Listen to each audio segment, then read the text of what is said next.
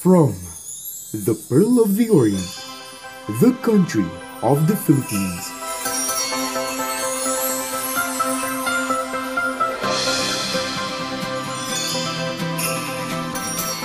We welcome the national artists for visual arts.